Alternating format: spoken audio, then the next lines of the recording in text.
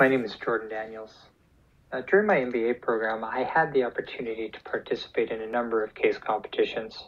What I really liked about case competitions is that they challenge you to understand a problem and formulate a solution, but they also challenge you to effectively communicate to an audience. And a presentation is your main tool to do this. Today, I will very quickly review some tips and tricks that I've learned about case competition presentations. Before you start any presentation, regardless if it's a case competition, school presentation, or a work presentation, you need to know your audience. In a case competition, the audience will be specified somewhere within the case. And before you do anything else, before you even read the rest of the case, take a few moments to try to understand the audience. What are their goals and motivations? What are they interested in? What's their position? Who do they report to? Uh, what are they concerned about? Is there a new product coming out on the market or macroeconomic trends that are threatening the company?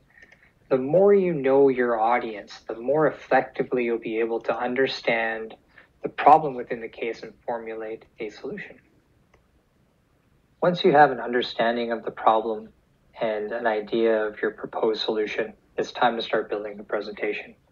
Now, the first key point is to be clear. There's a misconception out there that the best solution wins case competitions. a lot of the case competitions I've been in, it's been a good solution that's won, but the determining factor is more around the clarity of communication than it is around the quality of the solution. Slide layouts can really help improve the clarity of your presentations. The best practice is to keep one idea for every slide and then support that idea with three to five points. If you're getting into situations where you have a lot of material to go through or you really want to emphasize each point and keep the audience's attention, you can use animations to hide different aspects of the presentation or bring up points one by one to maintain that focus on the current point. If slides are getting a little bit too heavy with too much material, it's always possible to use multiple slides. The second key for case competition presentations is to be concise.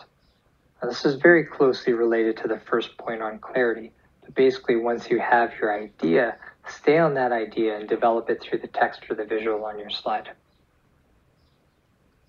To create a concise presentation, it's important to use your words wisely. A lot of text on a slide can be distracting. It causes the audience to read ahead and to not focus on the point that you're trying to make. A good practice is to break out the key points and then speak to the material. For example, speak to the slide. Alternatively, pictures and diagrams can be used to convey the same idea, but in fewer words. So all three boxes here effectively say the same thing with various levels of conciseness. Once you've developed clear and concise slides, the next activity is to determine whether or not those slides provide value to the overall presentation. Do they effectively communicate your understanding of the problem or your proposed solution to the audience? When determining this, your understanding of the audience is absolutely critical. The test I like to do with my slides is called the so what test. Basically, I put myself in the shoes of the audience and I ask, so what? So, what is this presentation trying to tell me? So, why should I care about this? What are the implications of this idea? If there isn't a clear line between what the presentation is telling me and what I care about, what my motivations are as an audience, then it really isn't providing value to the overall presentation.